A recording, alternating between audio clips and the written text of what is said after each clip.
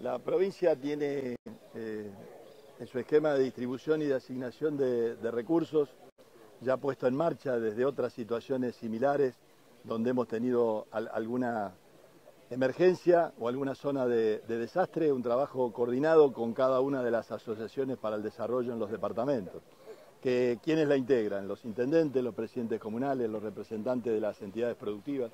Y es un mecanismo lo suficientemente ágil eh, y transparente como para poder tener una asignación rápida eh, de, la, llegada de los, eh, de los subsidios o de los aportes necesarios cuando en algunos casos requiere equipamiento o requiere obra.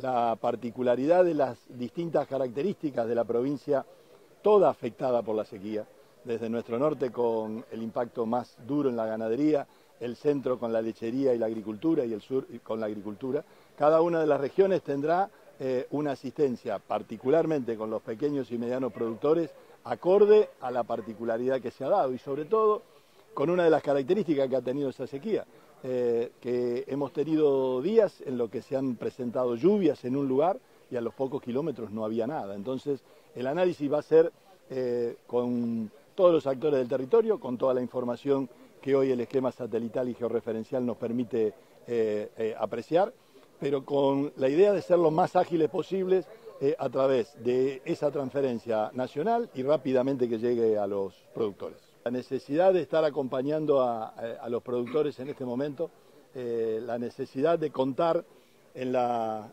provincia con, una nueva ley de emergencia. Eh, tenemos hoy una media sanción del Senado de la provincia y esperamos que la Cámara de Diputados lo pueda hacer sería muy importante hoy contar con esa herramienta. ¿Por qué? Porque gran parte de la agricultura eh, se hace sobre campos alquilados. Eh, la ley de emergencia vigente, la actual en la provincia de Santa Fe, no contempla eh, a, quienes trabajan campos que no son propios. reconoce solamente en los propietarios la asistencia en la emergencia. Con lo cual, seguramente no se no evaluó la Cámara de Diputados la urgencia, la dimensión pero ojalá podamos tener una herramienta en, el menor tiempo posible.